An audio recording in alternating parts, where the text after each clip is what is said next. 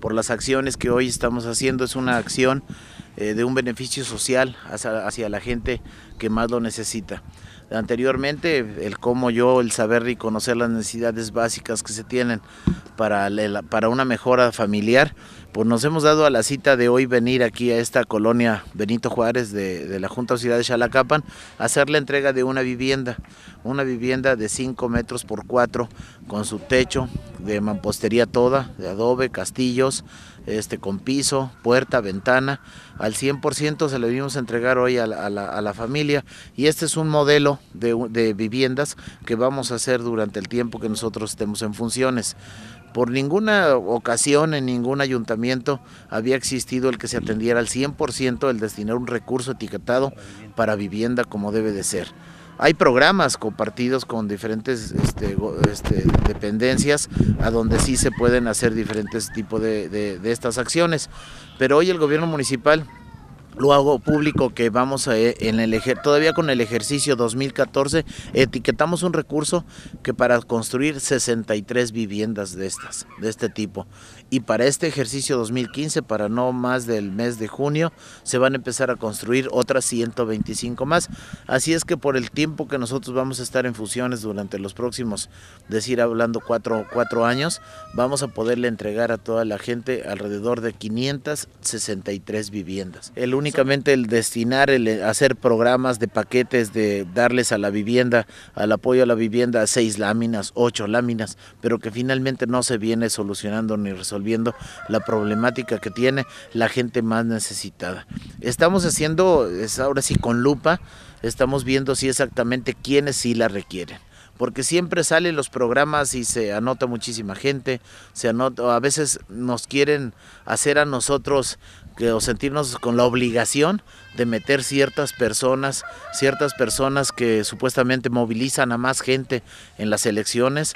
el que son de un partido político, el que son de otro. Nosotros estamos siendo plurales, incluyentes, no estamos viendo partidos políticos, ni mucho menos el que tengamos compromiso con alguien que no lo necesite. Y solo así, créanme que vamos a poder el, sí cambiar las cosas, el apoyar aquí sí, aquí sí en verdad lo necesita. Nosotros como ayuntamiento nos los ofertan, nos los ponen a tela de juicio y sí el costo de esta vivienda es de 31.100 pesos, terminada al 100% tal y como está esta.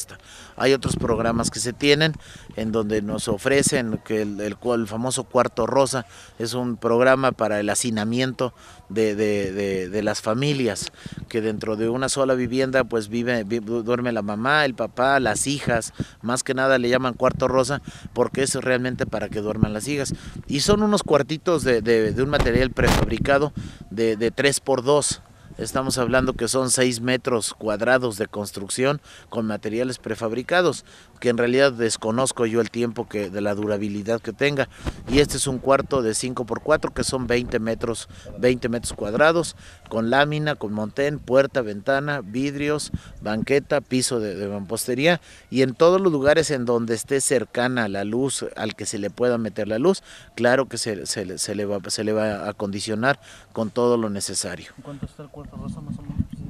Eh, bueno, teníamos, teníamos la vez pasada alrededor de 35 mil pesos, 35 mil pesos, y con una aportación compartida. Entonces, si, si se va a hacer la, aportación y el cuarto sale entre eh, salen 35 mil pesos, y entre gobierno municipal y la dependencia que en su momento este, está ofertando ese apoyo, pues no sabemos realmente al finalmente si con qué con qué fondo sí se pague eh, o tenga el mayor costo. Y por eso hoy nosotros optamos como gobierno municipal hacer las acciones al 100% y por eso vamos a hacer estas acciones de este ejercicio como les dije de 125 las del año pasado son 63 y con el costo de 31 mil 100 pesos. Ya está etiquetado el recurso y se van a construir a partir del día de hoy. Se van a destinar ya se tiene por ejemplo en Coguasalpan el progreso Francisco y Madero, Las Lomas, San Juan Taític, Xochitepec, Tatzecuala,